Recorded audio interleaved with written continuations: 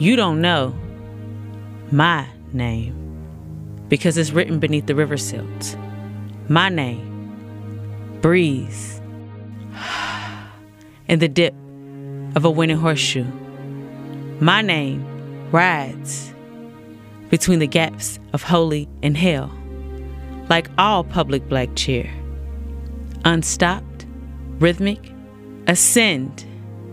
But you don't know, cause then they'd have to roam for the limbs of Oliver and a hundred thoroughbred legs. Only my name can intoxicate a hate, penetrating dark stories against the stables, where eleven names stand abreast, inscribed upon headstones beneath a whole lot of lies. It's not just about writing. My name is a rising.